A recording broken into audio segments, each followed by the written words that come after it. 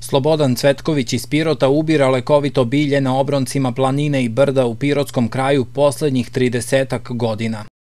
Ne može sve po literaturu da se prepozna, mora da bude na teren i da se vidi e, prirodno kako izgleda biljka i onda može da bude čoveku malo jasnije. Pirotski kraj poseduje veliko bogatstvo lekovih tih bilja. Imamo, ja mislim, preko hiljadu vrsta već da. Međutim, Međutim, usled promene klime menjaju se i prostori, odnosno lokacije na kojima bilje raste, a neretko ga i nema dovoljno. Zato oni koji se bave distribucijom lekovitog bilja počinju i sa plantažiranjem.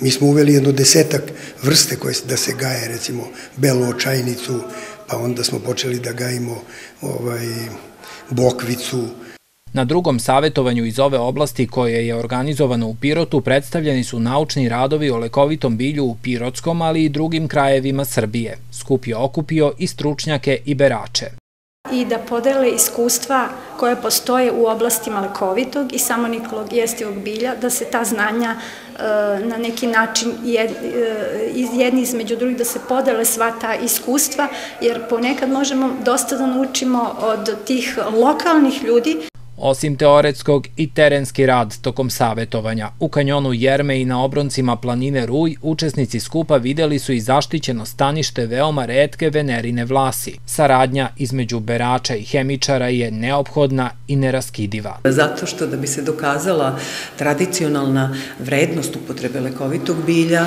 mora se uraditi hemijska analiza i ispitati koji je to aktivni sastojak koji dovodi do lekovitog delovanja na ljudski organizam.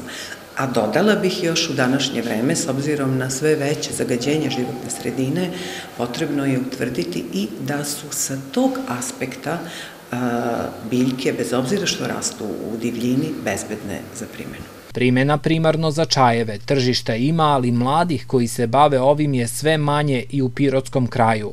Bili smo možda desetak članova, sad smo se osipali na četiri člana. Mladi ljudi neće. Sela gde je bilje okolina najbliža su ostala pusta. Manje berača uslovilo je i povećan uvoz lekovitog bilja iz okolnih država.